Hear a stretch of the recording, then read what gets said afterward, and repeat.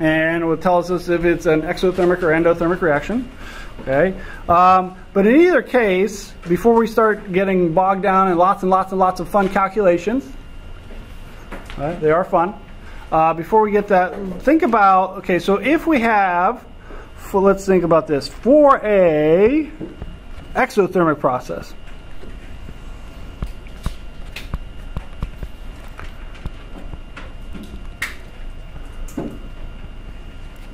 For an exothermic reaction.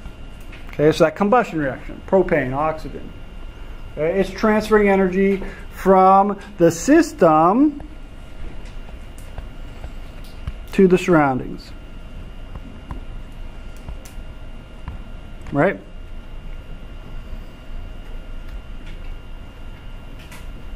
We're all on board with that.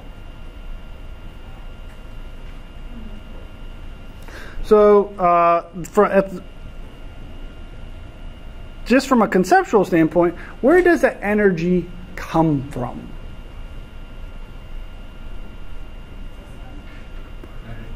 Yeah. So where's this? Where's the system getting that energy?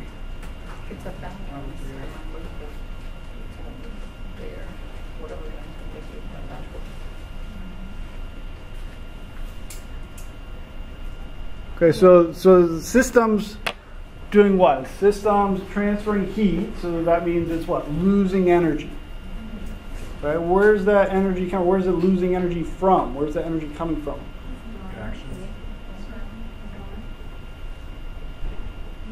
The bonds, the chemical bonds. So what type of energy do you think is it losing? Well, what are the two types of energy? Potential and kinetic energy. Okay.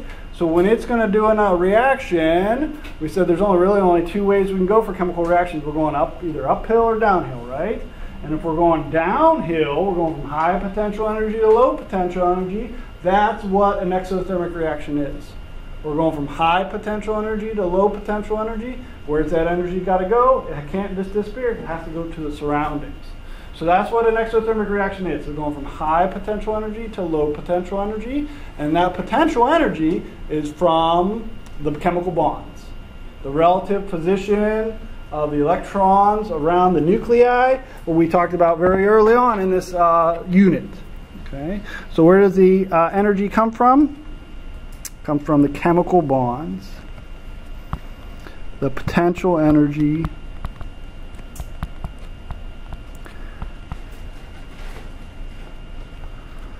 of the bonds.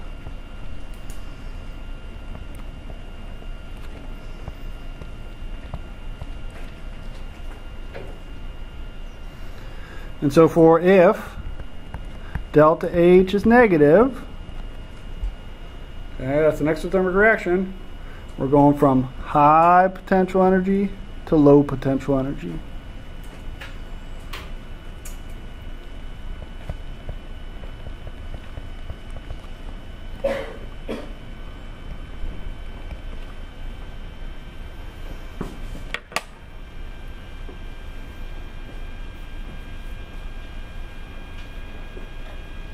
All right, so now let's think about this in reverse. Okay, let's think about a endothermic reaction, a reaction that's absorbing energy.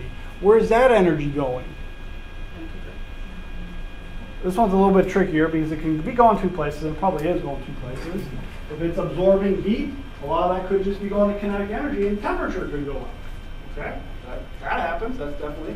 But also, if we're going from you know, if it's a chemical reaction, we could be going from, of course, a low potential energy reactant to high potential energy reactant. So that some of that energy could go into potential energy, putting those electrons in higher potential energy bonds.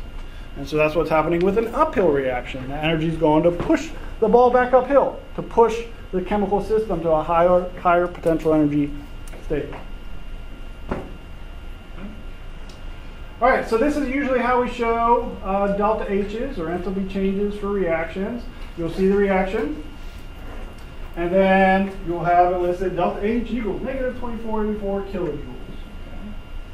Okay. Um, but if we look back at the equation that I just showed a while ago, we said that delta H was uh, heat of reaction per moles. Okay? So what types of, so we're to have joules, we've got joules or kilojoules for our units for energy. And then moles, probably have moles for units for moles, especially on mole day. Okay? So this would be kilojoules per mole. But when we list it for a reaction, it just listed as kilojoules. Because this is a stoichiometric ratio. Okay? Meaning that we're always going to go back to our coefficients.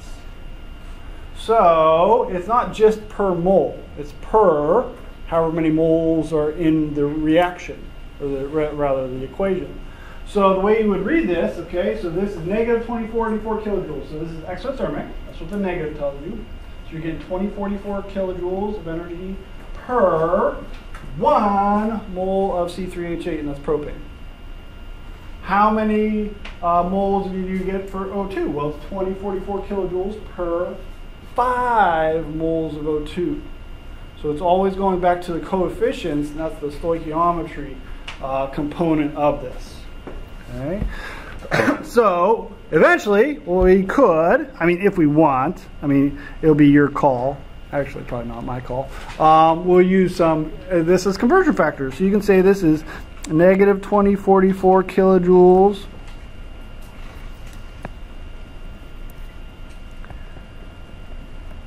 per one mole of C3H8.